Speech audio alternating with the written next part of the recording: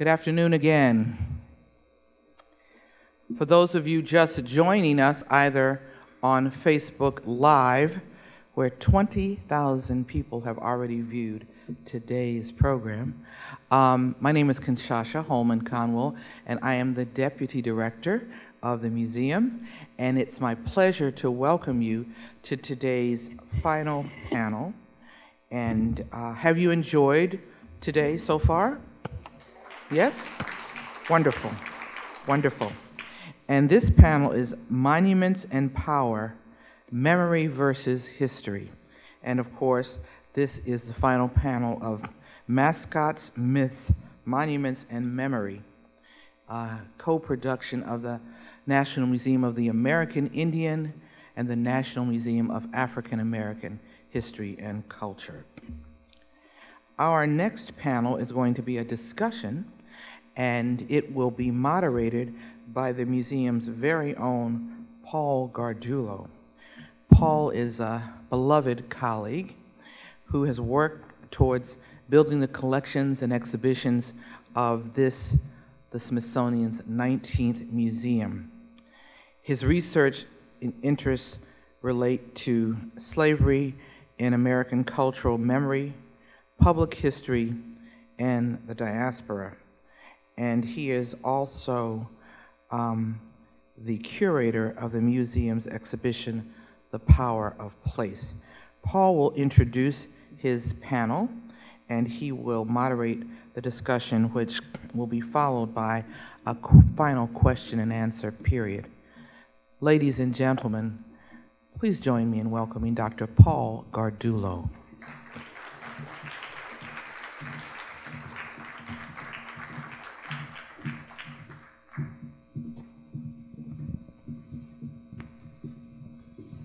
Good afternoon, everyone. I was going to say we're all poor Gardullo. yes. We're multiple. Um, I'm thrilled to be here this afternoon. Um, this is going to be a panel and conversation. We've had so much that has been put on the table today in terms of ideas, rich thought, uh, inspiration, and provocation that we think it's best to sit down, talk amongst ourselves, and then open the floor to have an open discussion with you all. Um, let me first introduce our panel very briefly, and then we'll move into some conversations. Uh, to my right and, and, your left is Tom Finkelpearl. Uh, Tom is the commissioner of the New York City Department of Cultural Affairs. He was important, appointed in 2014 by Mayor Bill de Blasio. He's the co chair of New York City's Mayoral Advisory Commission on City Art, Monuments, and Markers. That was announced in 2017 in September, and then uh, just reported in January. Is that right? So very new. Correct. Yes. Before that, Tom was the uh, director of Queens Museum. Um, jumping over Aaron, um, uh, Stephanie Rawlings Blake is the former uh, 49th mayor, former mayor of Baltimore, uh, the largest independent city in America. And she instituted uh, the Special Commission to review Baltimore's Confederate monuments in 2015. Is that correct? Um, and she currently serves as a political contributor for ABC News and has her own consulting business. Um, and then Aaron Bryant, my colleague in the Office of Curatorial Affairs here, is a museum curator for the National Museum of African American History and Culture. Uh, he served as chair of, uh, of Mayor Rawlings Blake's Commission on Confederate Monuments, and he's been the uh, curator of two incredibly important and provocative exhibitions here for the museum. Uh, one that is up currently called City of Hope, at our gallery in the Museum of American History next door that commemorates and celebrates the Poor People's Campaign of 1968. Of course, at the far end of the panel, Lonnie Bunch, our founding director, needs no introduction. Um, but I'll introduce him anyway.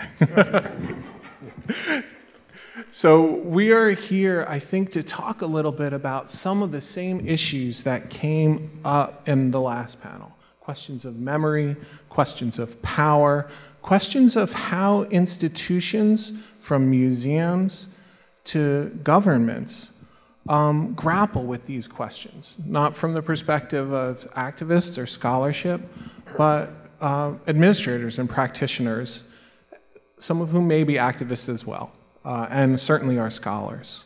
So let me begin with a, with a brief list of just place names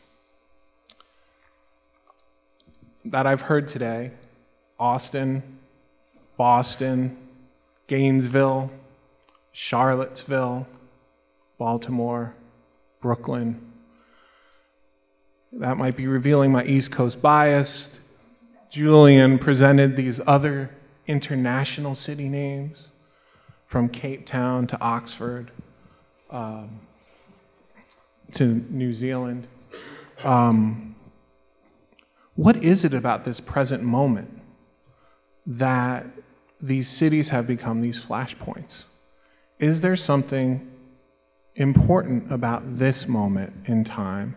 And I think I'd like to ask uh, our colleagues to have a general discussion, but I'd ask, like to ask Lonnie to sort of put this moment in context. Think about is there something that's, that is in the 21st century that's driving these questions currently about memory, about race, about the legacies of slavery and colonialism?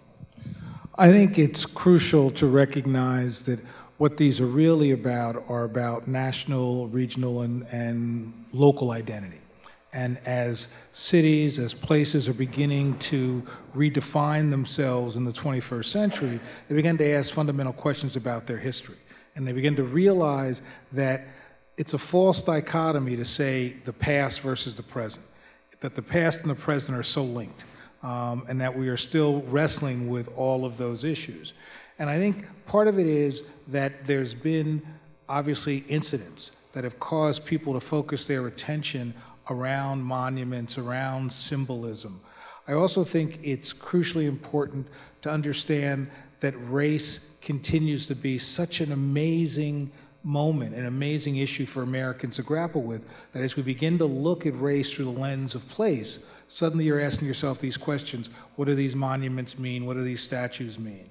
And I think what's really interesting to me is that these monuments really are, as we said earlier, that they're as much about today as they are about yesterday, and that in some ways what you see is people grappling with a revision, a revision that says, yes, the South lost the war but won the peace. What does that mean now? And so I think all of that undergirds a lot of what you see going on today. So, as um, administrators, as people who founded commissions within two major American cities. I wonder if Stephanie and Tom, you'd talk a little bit about that process. What was the genesis of the commission? What were the main goals of each of the commissions? What were, what were the real, the, the main challenge? And then what were the beginnings of the, um, the results of those?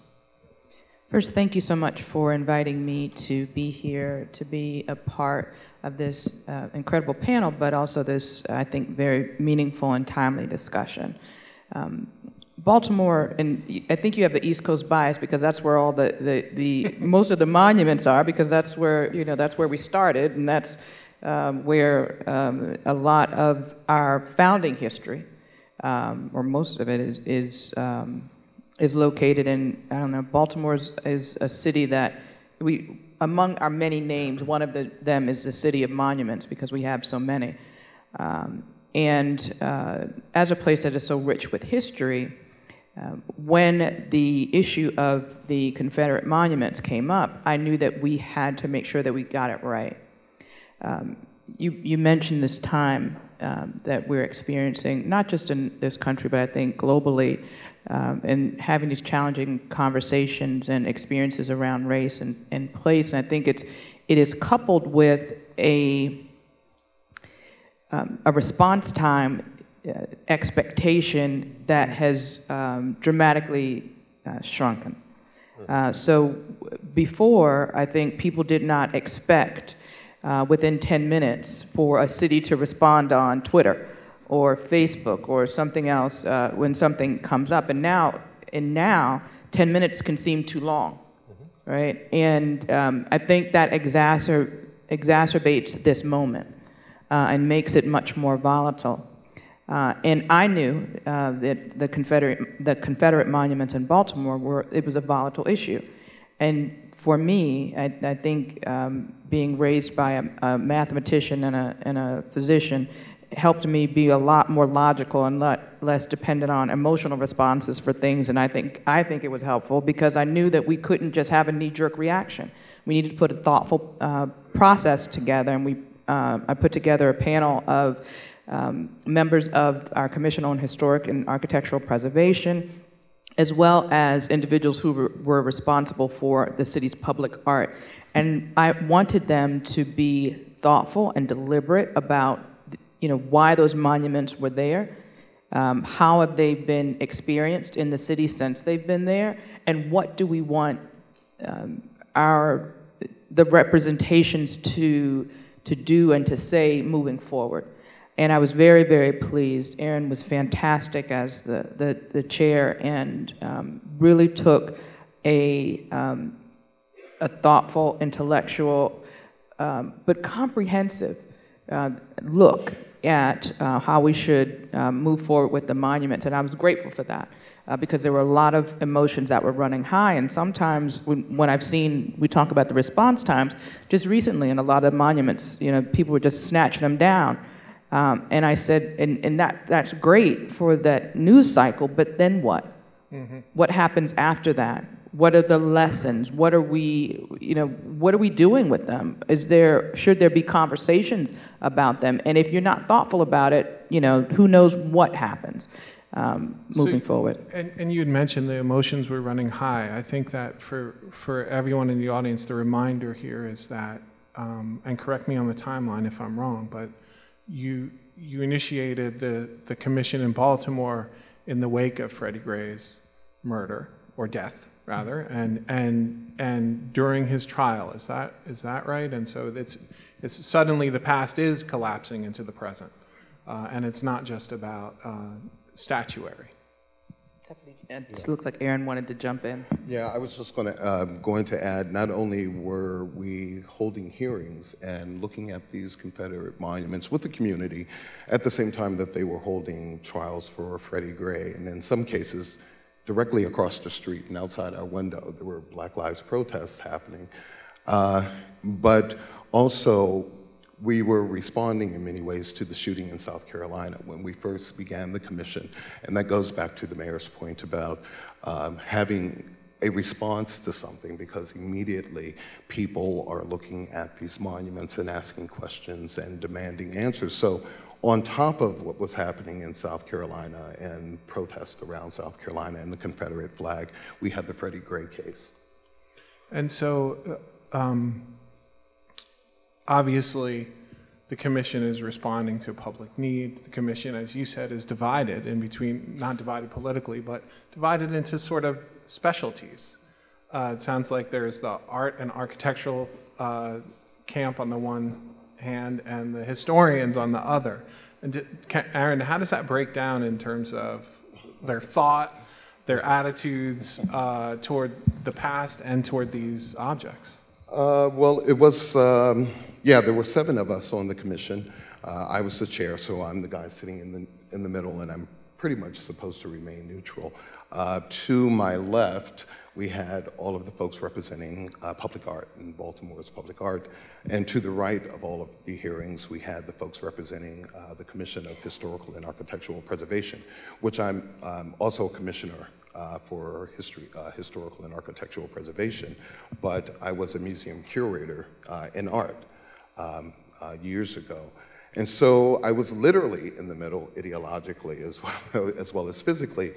And the historians really just wanted to take the monuments down in many ways. They were like, just take the stuff down because it's not accurate in terms of how it represents uh, Civil War history and the history of the Confederacy. It, it represents more the lost cause, a, a, a, 20th century kind of phenomena or late 19th century phenomena.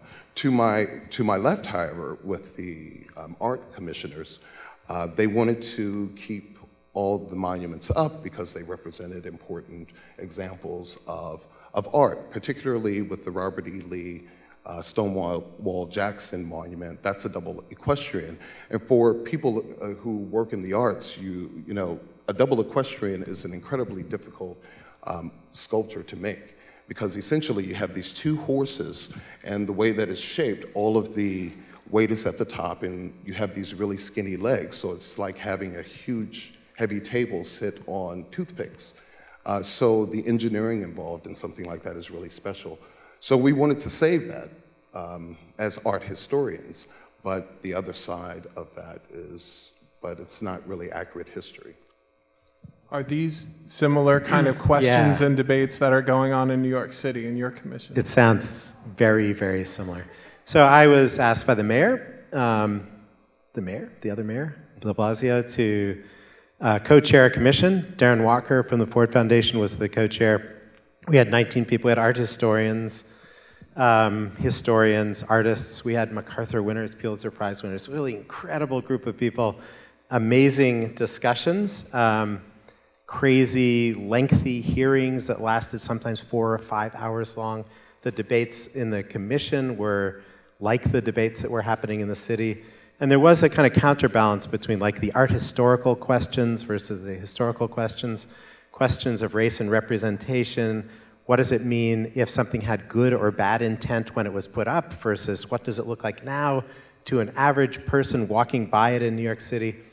So, but it, it wasn't Confederate monuments, and our commission wasn't intended to answer the question about particular monuments, although we did, the commission did make uh, recommendations on four monuments. It was meant to create uh, a process in the future to deal with, you know, a universal process. Right. To say what are the what becomes a controversy that becomes considered. How do you do the historical analysis, et cetera? Um, but the same thing, I would uh, echo what, should, can I call you Stephanie or Absolutely. the mayor? Absolutely. Okay. What Stephanie was saying was the news cycle is so crazily fast. None of this stuff is new. I mean, the controversies around monuments are, have been going on for decades and decades in New York, and I'm sure it's the same in Baltimore. But the answers had to be immediate. So even for the mayor of New York City to say, we're going to give you 90 days, which turned into, I don't know, 120 days by the end, um, to think about this seemed like a luxurious, lengthy, in depth consideration. Um, so it sounds very, very uh, familiar to me, the kind of issues you guys are talking about in some ways, it's so interesting that I want to add just a little different wrinkle. We've been talking almost all day when it comes to Confederate monuments about monuments of white men. But there are also Confederate monuments that are about the loyal Negro. And so it adds a different level of complexity. I mean, for example, this museum is a great now monument on the mall. But I don't know if you realize that there was a great fight in the early in the 1920s because the Daughters of the Confederacy wanted to create a major monument um, honoring black mammies on the National Mall. And that, it, and that Congress supported it, but it was the NAACP and several other progressive organizations that actually fought against it and eliminated that monument on the mall. That was really in reaction to the response that, that the Lincoln Memorial was getting. Lincoln Memorial raised issues of equity and race um, in the minds of many, and so the Daughters of the Confederacy wanted to create an alternative to that. What's so fascinating is if you look around the country, there are many loyal Negro statues. If you go to Harper's Ferry, there is the um, Heyward Shepherd statue. Heyward Shepherd was a free black porter who was at Harper's Ferry when John Brown's raid occurred, and he was actually killed accidentally by John Brown's folks. Well, in the 1930s, the Daughters of the Confederacy said, We've got to counter this notion of aggressive black people demanding rights. What we need to do is remind people that there were African Americans who suffered um, in this struggle that ended up being the Civil War. And so they created this wonderful statue talking about how loyal certain Negroes have been and how that their loyalty to the South should not be forgotten. So there are literally probably 15 or 20 of these that are still extant that are also part of this discussion. So I just wanted to make sure that we recognize that it gets a little more complicated because now it is it's explicitly about race and trying to create a sense that how do you counter what was considered an aggressive push for civil rights? Um, the best way to do it is to hearken back to the loyal Negro, the loyal retainer. I think that's so important, Lonnie, and I think that you know this. It it it comes back to your statement at at the top of the day, where you're like these these monuments were built in a period of time, right? In a moment in time, primarily the 1890s to the 1930s, 40s. Um, it echoes exactly the timeline of our first our morning's first panel, where it was the same time in which mascots, these racialized mascots, were being developed. At the same time, all of this plantation mythology is being developed. And so it's, it's important for us to kind of unlock that moment in time a little bit. And from the perspective of monuments, right, it's writing it right onto the landscape, to the landscape of segregation. And so I think that's why it's so powerful, Stephanie, when you say, like, you know, these are, these are happening in the states of the former Confederacy, but these monuments are happening all across, right, the U.S. And um, Aaron, you were, you were mentioning to me the, the practice of redlining and how, it, and how it may tie in with that historical phenomenon. I wonder if you talk a little bit about that. Uh, well, yeah, if you look at the period of time, uh, Reconstruction and moving through Jim Crow and segregation, of course, that's when we have a lot of these monuments being built in cities uh, across the country, and different kinds of monuments, not just one speaking specifically to African American uh, segregation or subordination. Uh, so, Reconstruction, Jim Crow, segregation, you know, these monuments become a way of um, marking a territory and uh, creating an image in people's minds about hierarchies. Uh, in Baltimore, for example, the, I think it's the double equestrian um, I was just talking about. It was actually constructed by a woman, which is another reason why it's important. Uh, it was a double equestrian, and there are few in the country, maybe even the world.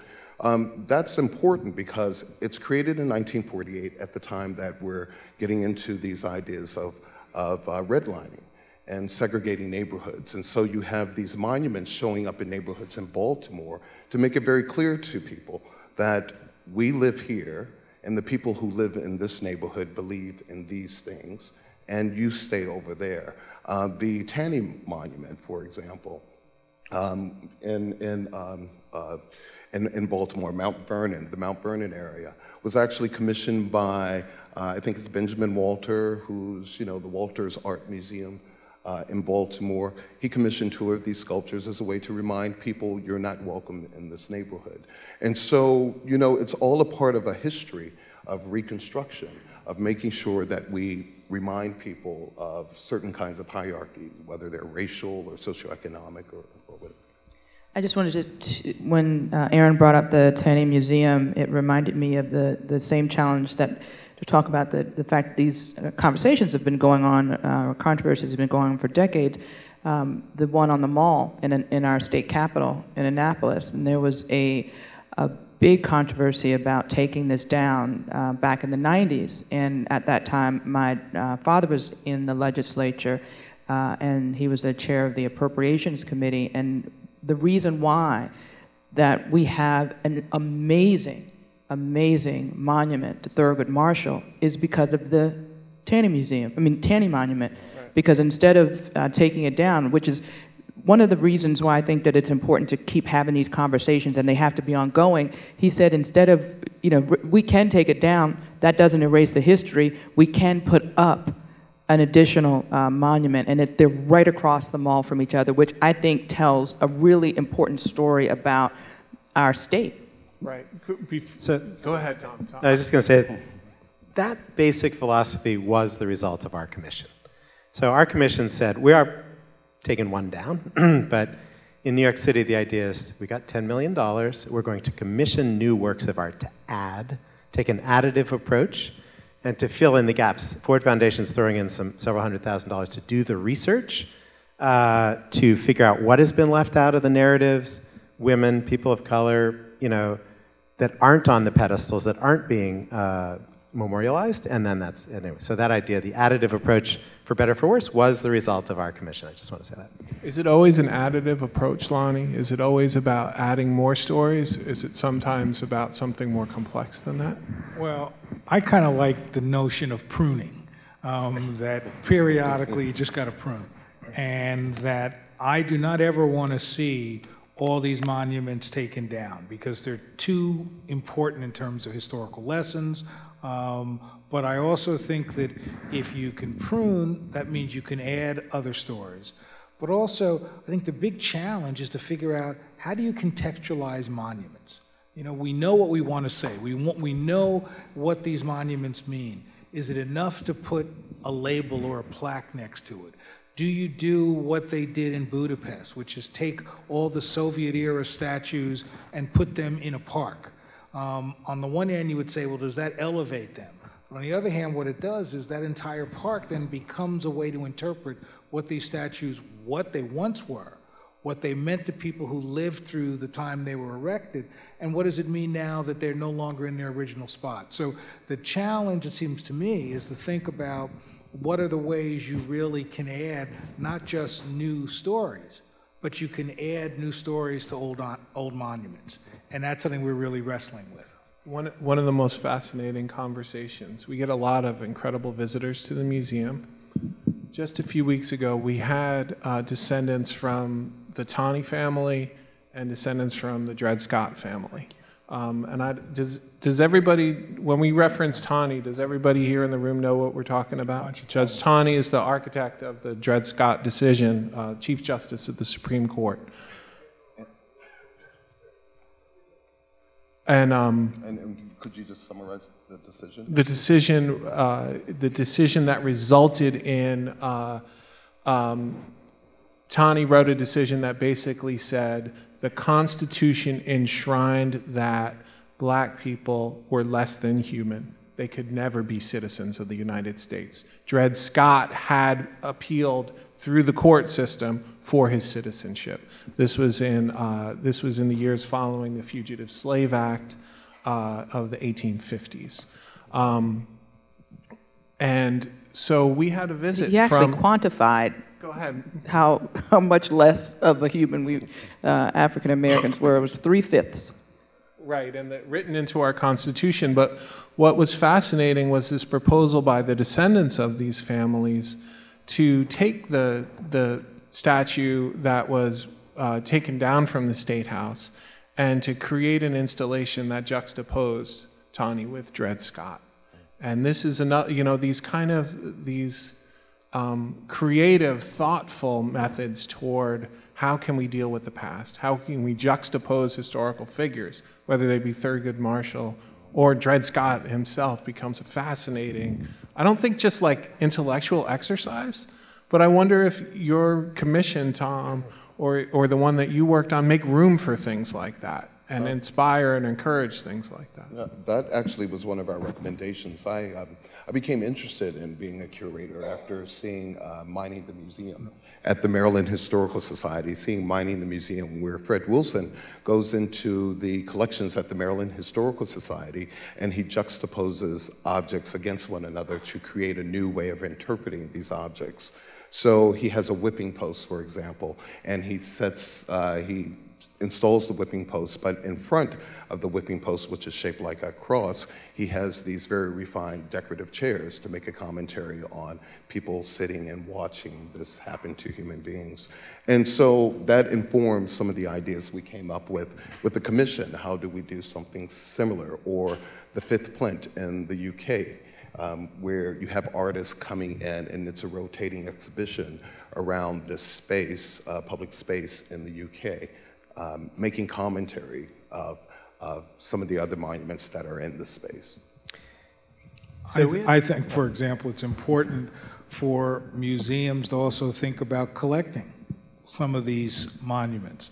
Um, I think we'll probably do that um, because I think, uh, you know, let's say you collect a monument from Baltimore, let's say. Um, think about as an object what that can tell us. That can tell us the story of Freddie Gray. It can tell us the story of sort of the notion of race in an era of Donald Trump. It could tell us stories about the Confederacy, about urbanization. So I really think that these monuments are just unbelievable sources of real interesting information. And I think it's incumbent upon museums to also think about yes, they're large, they're huge, where are you going to store? But I could imagine collecting that so that let's say 15 years from now, a curator wants to talk about today. I, don't, I can't think of a better artifact than a monument, a Civil War memorial. By the way, that's fascinating because I've heard many museum directors saying that's the third rail. I don't want it. so it's really great Come to hear you say Come sit by that. me. Yeah, yeah, that's beautiful. Um, so I just want to give one example. In New York City, there's a notorious gynecologist named J. Marion Sims who experimented upon enslaved black women in the South. And it was, you know, there's a lot of literature about that, about the inhumanity of that. So his sculpture was put directly across the, from the Academy of Medicine, one of the great, you know, and he was a member of the Academy of Medicine in New York City. It's a, you know, 175 year old organization. They wanted it gone. The community board wanted that sculpture gone. The Museum of the City of New York, is also right there, wanted it gone. So he, that sculpture will be removed and placed in a cemetery, which is, by the way, where he's buried. But on then, so then you have the empty plinth. So what do you do with that? So the recommendation of the commission is to find not, so there are three women, three enslaved women who are named by name in the literature about J. Marion Sims. So one of the ideas was to put up a memorial to them. An alternative uh, thought, which is, was what was recommended by the commission, is what about finding three African American doctor, women doctors who made contributions to medicine and say, the contributions to medicine across from the Academy of Medicine should be the uh, positive model, uh, not the. So it's a very complicated question. Like, are you going to recognize the savagery of what he did? And the idea is to do that, but through labels, and do labels ever work is a very good question. But to put up three or four, you know, something that, that an artist comes up with, images that are positive. I think, again, it is because we're having uh, this type of discussion that I think really creative things can come out and things that will speak to our culture for years to come. Because I can understand why um, commissioners would recommend having the patients uh, there as a constant reminder of medical ethics. Uh, because in, in Baltimore, um, we face our own challenges when it comes to medical ethics. Um, the movie Henrietta Lacks um, tells that story. And it's a story that if you grew up in Baltimore, um, a lot of people um, had what I thought growing up was um, an unnatural, um, I don't, I don't, hate is a, is a bad word, but um, distrust, yeah, of, of hospitals, local hospitals. And then, you know, the, the stories, you hear the rumors, these stories that, oh, you know, this hospital is experimenting on black people, experiment, and then you see the, the, the real history. And I think to tell that, to tell that story in, um, in monument, uh, represent, monumental representation of the, the patients who, for years, um, were seen as less than, and not worthy of uh, you know the, the same uh, rights that every other uh, human should have, which is not to be experimented on, and, and the, the medical ethics didn't apply uh, to them. So I think that's a it's, it's a very important conversation to have. And I mean that is those are some of the conversations that are at the heart of our conversations in building the museum. When to inspire, when to uh, tell very hard truths um, and when to uh, really talk about the resilience of people, or always to talk about the resilience of people. And I think one of the fascinating things that has come out of today's discussion is, you know, un- unfortunately, the resilience of racism, right? And the incredible ways in which it, it remounts, refigures, re kind of uh, reforms itself in new contexts over time. And I was struck by, um, you know, positively uh, by Bree's comments in the last panel, Bree Newsome's, where she's where where several of the commentators were talking about does changing the representation really matter? Is it enough? Does it go far enough? Um, for your constituents, for the people in- New York, for the people in Baltimore, when we think about um, when we think about this, is it what role does representation have? What role do these kinds of changes mean, and do they go far enough? Yeah, um, I would just add one of one of the things that I noticed when we held hearings in Baltimore is that people really wanted to be heard. They wanted to have some sort of avenue for discussion. So you talk about these discussions are not just important for policymakers or people who are sitting on commissions, they're really important for the community. And that's one of the reasons why it was important for me to uh, be on this commission and to chair the commission. I was amazed at how many people came into the room and sat and listened to one another. Um, I'll never forget, there was this one Hispanic uh, gentleman, he was actually Mexican, uh, I forget his name, um, but he had a full Mexican name, and he was a son of the Confederacy. Uh, he had a white mother, uh, and he was raised by his white grandparents. And so when he got up and told his story, the whole room got really quiet because people were listening to try to figure out where was he coming from, like what perspective was he coming from. And so they had to listen. That's important. They had to listen because they wanted to understand. And all of a sudden, it changed the dynamic of that space because people were finally listening to understand as opposed to listening to argue. And that night, we had a number of people representing the Confederacy and white supremacist groups who actually came up to our commission and said, Thank you for listening. That's all we wanted. And we got it on the other side as well, where people said, We just wanted to listen and get our thoughts heard. To be able to connect to humanities, I think that's really an important process for whether you're in New York or Louisiana or Baltimore. People just want to be heard. Any thoughts on that? Um, so I talked to some folks down in New Orleans. You know, as we were doing this, we were talking to other cities. And they said, you know, this is a truth and reconciliation process. And reconciliation is all fine and good, but not if you haven't gotten to the truth. That there has to be that, you know, account taken. And so, it, you know, I do think that monuments are important. They wouldn't be, you know, I mean, there've been like huge demonstrations, and it's been a broiling situation for a long period of time. But if, you know, just taking down a monument or, or having a meeting, and we had lengthy and sometimes moving, um, you know, uh, public meetings with hundreds of people showing up. But, you know, the truth question, I think, is the fundamental underlying question. And so we're going to try to, you know, work with the Department of Education of New York City and, and work monuments into new curricula. We had a very robust representation of the Department of Education on our commission. And so, you know, this is a big chore. We have a 1.1 million students in our system to get that kind of education. There's this idea of the teachable monument, like the teachable moment, right? How can you learn from monuments? But I think it's a long process. It's not going to happen overnight. But I do, you know, I mean, getting the discussion started is very good, and it's very good to have a robust conversation. Go ahead, please. And I think having the commission lends itself to having that truth and reconciliation. When you just rip it down, um, what happens after that? And I mentioned that in my opening uh, because we have to figure out ways to have really tough conversations in our in our country, and I haven't seen that when we when we have those knee-jerk reactions that the meaningful conversations end up not uh, happening in communities where they need to have them the most. So, in other words, reconciliation is, is not just a moment, reconciliation is a process. Reconciliation has different definitions for different groups. But I want we'll come back to this kind of question that Aaron had, which is is it really about everybody's voice at the table? Is it about everybody just wanting to be heard? See, I guess I'm, I got a, just a little bit of a different spin on this, is that I do believe that representation, making these changes incrementally as they are, are fundamental to truth and reconciliation. Um, I think about the civil rights movement.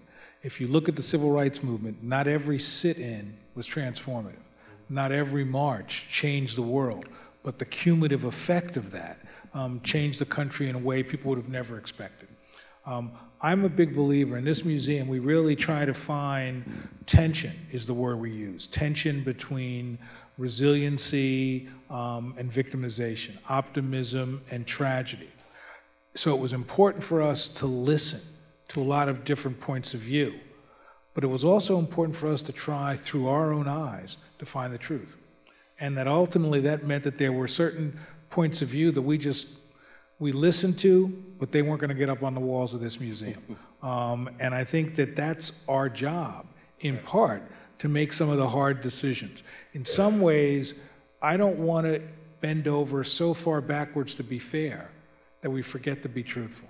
Um, fairness is great, but fairness alone has often led to people who should have power not having that power. Um, so for me, it's about what, through our lens, do we think is right? What's the good fight we want to fight? I don't want to do any work if it's not if it doesn't have the potential to be transformative. Um, and so I think that the challenge is to really wrestle with if we began to grapple with these monuments as teachable monuments and other things, what's the end game? How far are we going to push this? What do we really want to try to accomplish? Because I really do think this is a this is an important moment, and I want to make sure we don't miss it. I think in not missing it means you have to trust the, the process and open yourselves open yourself up to a solution that you might not uh, even consider when you start the process. I didn't know what the commission was going to do, but in, in my mind, if I put smart people together, smart, thoughtful people who had the capacity to listen, that I thought we could something positive could come out of it.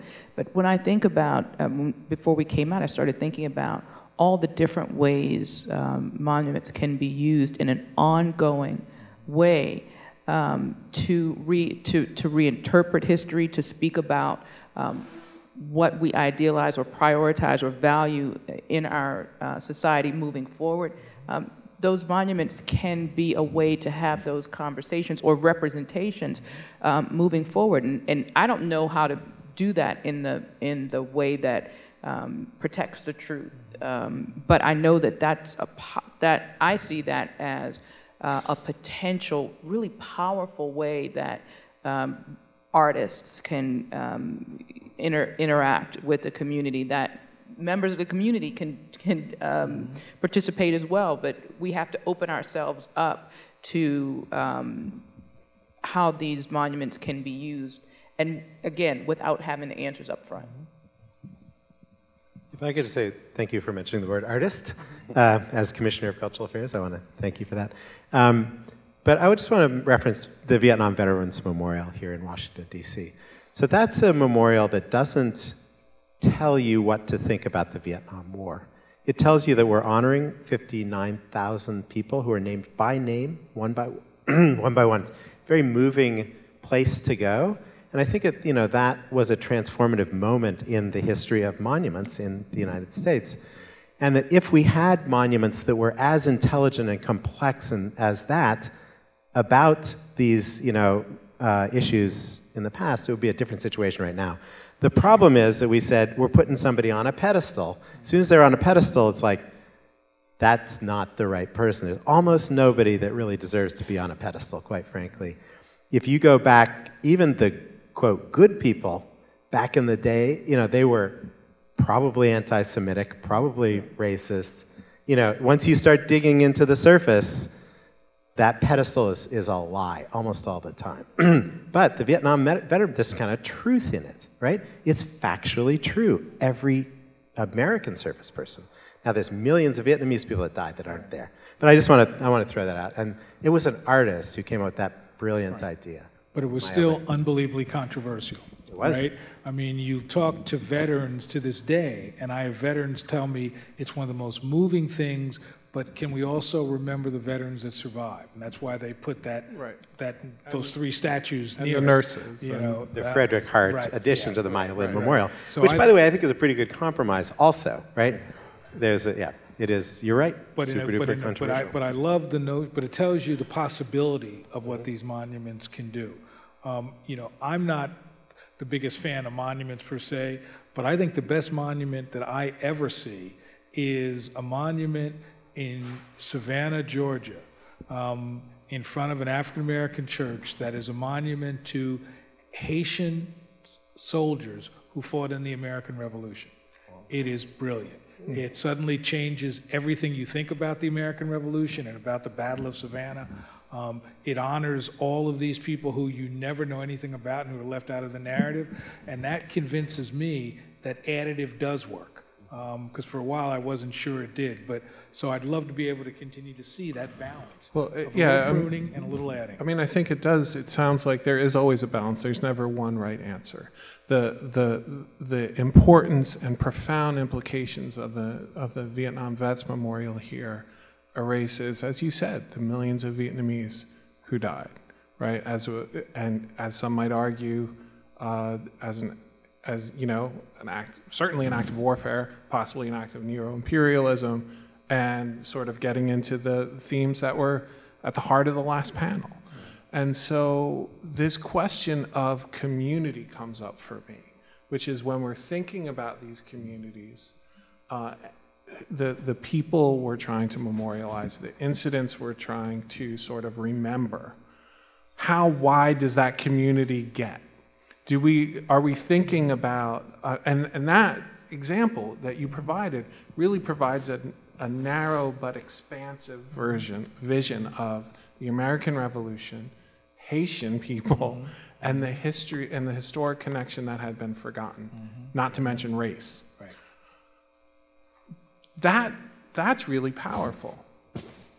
But I think it, it's very tough. It's But- tough but to it get get- expansive and unique at the same the point time. they made about having a commission, you know, having people, a process that allows these things to be grappled with. Because as we said earlier, so many of these Confederate monuments were really because of the amazing fundraising success of the Daughters of the Confederacy. I mean, I think in some ways that's an amazing story of what these women were able to do. They were able to take, a take soldiers' dreams and make them into myths that became so powerful that they were able to raise money and became this juggernaut of myths and falsehoods. Um, but I think it's an amazing story. I think the question I always want to ask is, as you, you put together commissions, but how do you handle the politics of this, right? I mean, this is really, there are always going to be, you know, the folks strongly believe that you're doing something wrong. And I'm just curious, was there conversations about the political aspects of this and how to manage that? Um, or, or were you as pure as you could be? Well, first of all, I say, as a former museum director, I understand what you're saying about the fundraising success. Right? this is what we think about all the time. Um, look, what, what it's interesting. What happened with the commission in New York City was put together largely by Department of Cultural Affairs, the mayor's office, and back and forth. The mayor had an absolute uh, final say. It was the mayoral commission on monuments and markers. Um, what we we put it together over a relatively short period of time. There was considerations. We wanted it to be very diverse, as diverse as New York City. It was men and women. There was it was gay and straight. It was, you know, Latinx and African American and Asian, and you know, so there was a lot of stuff going on. And then you know, we wanted university professors and artists and you know all this stuff. Um, it ended up being sort of almost surprisingly a, a mirror image of the city in terms of politics, in terms of opinions. There was a vigorous debate on different sides of issues. Um, I mean, look, New York City is a very progressive city. The mayor won 70% of the vote. It's not like some other cities or the country that's very split right now. but uh, I, I think it, that because um, we're putting together on the basis not of politics, I mean, that's easy to say, but on the basis of expertise and diversity and all these other things, it ended up sort of just magically being a mirror image of the city.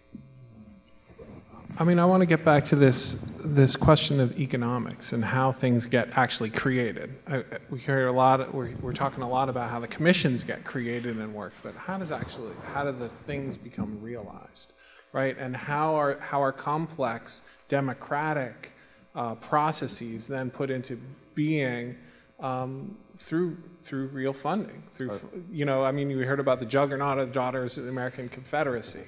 Right? And the way they were able to galvanize their very tightly knit racist community to produce a lot. You- You're talking about something that is uh, profoundly more democratic, uh, profoundly more truthful, um, but is it as easy to fund? I mean, I guess I asked that to the panel. Yeah. Um, I, w- I will say that I was um, followed up with a working group. Um, I worked with these folks after this commission, and we came up with some recommendations for the current mayor of Baltimore City. You got to put this up closer. Oh, oh, sorry. Uh, So working with this working group to come up with um, other ideas related to the monuments, and, um, and I was appointed to that working group through the current mayor's office. And uh, we were looking at ways of connecting artists to these spaces. And through that, depending on the artist in particular, depending on how you write the proposal, there are opportunities for funding certain kinds of programs. Uh, it can be more difficult or easy, but I think the whole idea of bringing communities together around art and conversation, um, as I talked about before, certain cities were still are, need the healing. That becomes an easier sell um, in many ways. I would just say in New York City, the history of what monuments are up there absolutely recognizes who has had money, right? So if you had the money to bring to the city, it didn't necessarily mean it would be um, accepted, but those were the groups that had the money that got their heroes put on those horses, on those pedestals. So what we wanted to do uh, was to put money towards it that was, you know, public money. So most of the monuments put up in New York City are not, have not been put up with public money, they've been put up with private money, like you're saying with these Confederate monuments. That's something we want to change. Like the Harriet Tubman Memorial, which is a big sculpture up in Harlem, uh, was put up with public money. Uh, we have a bunch, we have a Roberto Clemente monument we're working on now, uh, Tito Puente. Um, there's a bunch of stuff going on with public money, and that's a curative to the concentrations of uh, wealth in particular communities.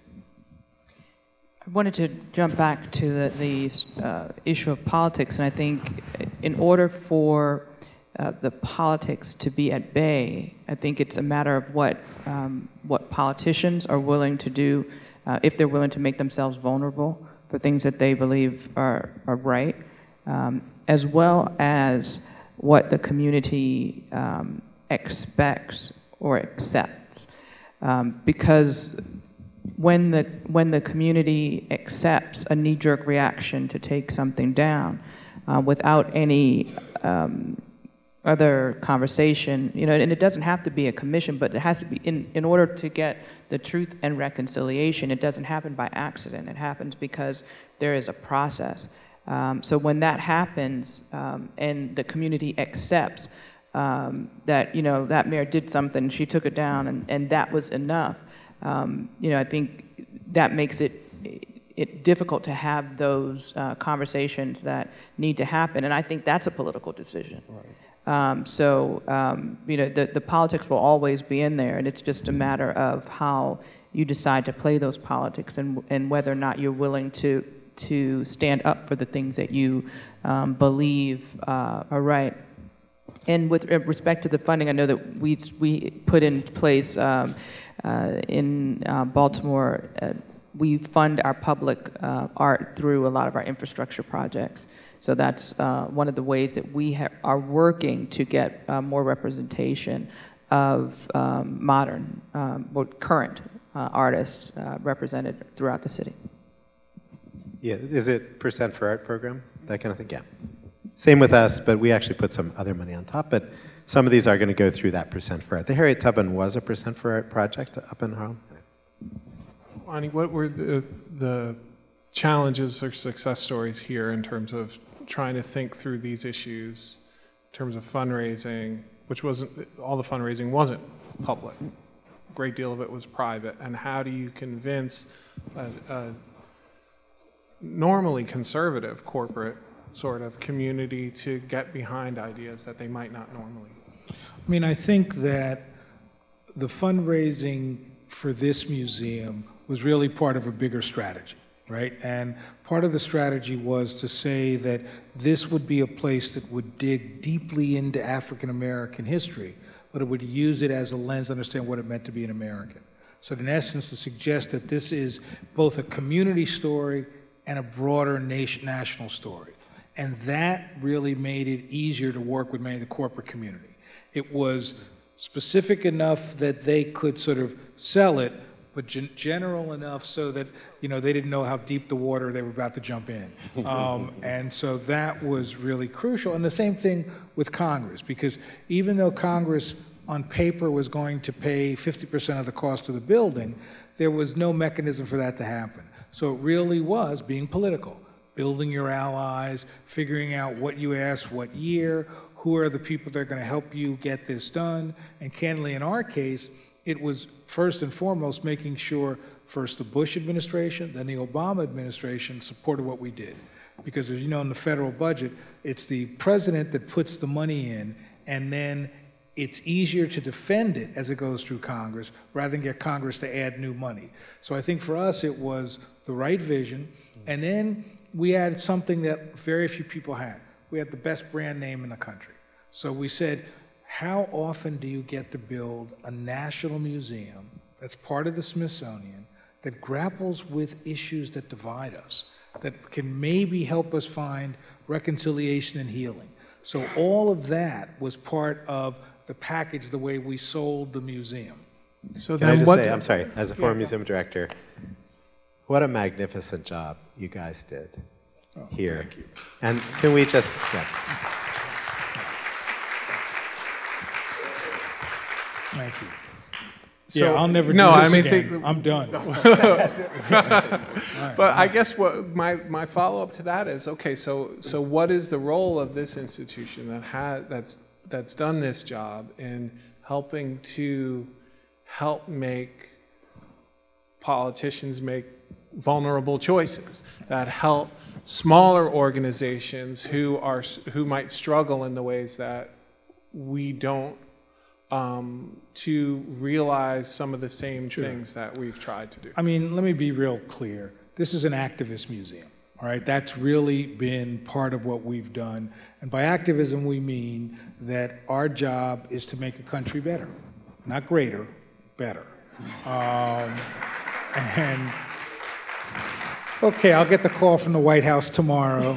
Um, but I think the point here is that when I look at National Museum of American Indian, I look at the wonderful work that they're doing, it says to me that you've got an opportunity to do something that isn't just about yesterday, but is about today and tomorrow.